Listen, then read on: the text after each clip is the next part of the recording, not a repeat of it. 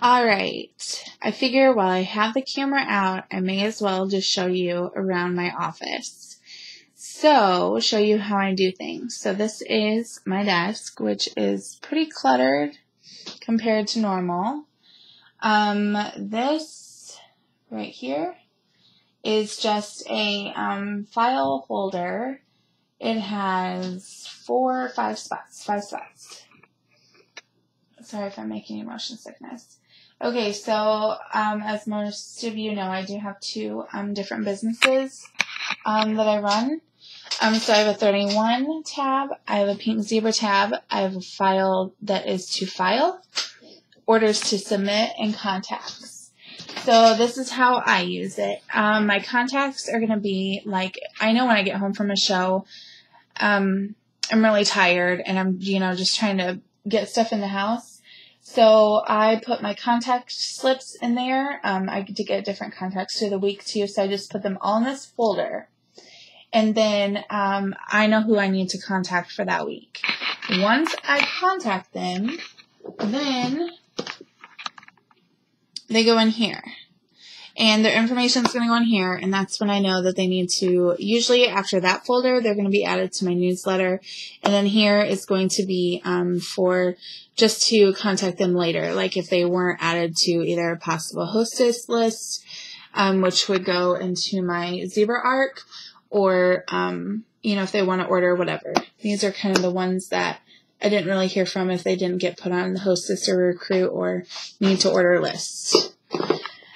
Okay, and then my orders to submit are the orders that I've gotten um, through the week that I either need to submit or just submitted.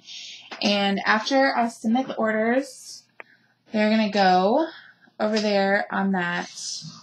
Can you see it very well? My file folder over there, that organizer from 31.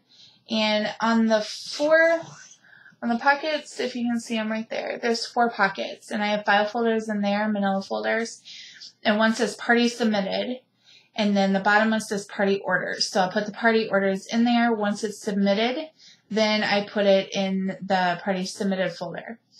The next side is the outside order folder and then the delivered party orders. So I know once they've been delivered, then I need to do my customer care calls um, and then after that, then they get filed away. Um, the pink zebra folder is um, just things that I need to um, do, and 31 is usually like my monthly special flyers, um, things like that. And then to file means I need to um, put it somewhere other than on my desk. so that is my file folder. And then over there, you can see I have three dry erase boards. Um, the top blue one is my 31 board. So, um, my parties, um, vendor events, things like that that are upcoming for the month is on there. The purple one is my pink zebra shows and parties. And then in the middle, the pink is a dry erase board. And I got these all at Menards and Walmart. So, um, I didn't go anywhere crazy to get that stuff. And so on the monthly board, then I put up um, events and different time things that are going on, um, upline calls, team meetings, webinars, things like that. Um, what else can I show you on here? Um, let's see. Over here is some of my stock. Um, all of it's kind of put away, ready to go for a vendor event. That's kind of my mixing station. Um, and up there is just more decorations. If we go over here, these are my cabinets. Um, the large one, they just kind of all have a bunch of crap in there that I don't want everybody else to see. so it means it's not very organized. Okay, and then over here, let me get a little bit closer. These, you can see I still use binders. Um, so over here is, um, I have a hostess arc that I use. Um, I also have an arc um, for when I host team meetings um, that I use. I put all the information in there. Um, different catalogs usually go in that middle one, but it's in a catalog season.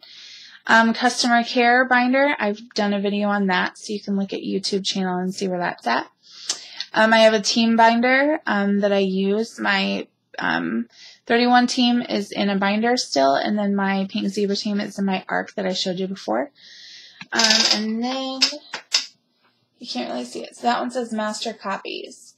Okay, and that means that anything that I've printed off, I have a really big problem with going, okay, that was really cute. I printed it off. Now where did, you know, where did I save it at? So I always print too often. I put one in the master care binder. And then so if I need a copy of something, I just pull it out of there and copy it off. And then down below is my sample station and everything that I need for samples to send out. My business cards, um, my custom, like when my customers buy and they buy so many, they get one free. Um, everything is in there. So kind of like my mailing station and my sample station, um, all in one. So that is how I organize, um, my office. Oh, and I've got, you see my cubes down there? I have that organized. Um, one is full of arc supplies, one is full of candle supplies, um, one is full of um, goodies that I give away at my parties. There's just kind of everything in there. Um, they were organized, not so much now, but that's a really good thing um, to have. And I got that at Target, I believe. And the little cubes I got at Target too. So that is a look around my office and how I organize things.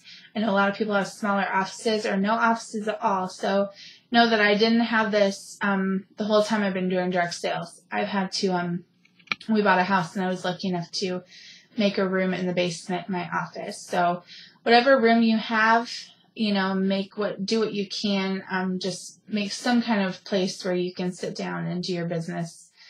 Um, that's the main point. You don't have to have a big office like this, but that's a tour around my office. See you later.